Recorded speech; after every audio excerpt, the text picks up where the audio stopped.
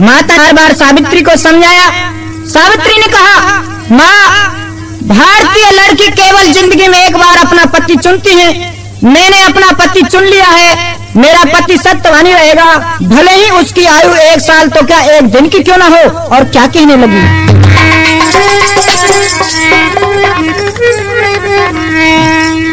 अरे चोखी सी दुल्हन बनाए दी।